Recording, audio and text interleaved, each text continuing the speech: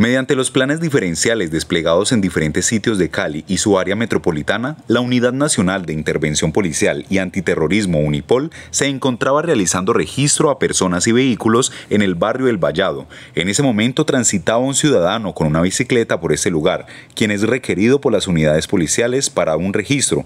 En ese momento desciende de su transporte y emprende la huida. Los uniformados activaron su capacidad institucional para interceptar esta persona, quien mientras huía accionó un arma de fuego para atentar en contra de la integridad de los uniformados.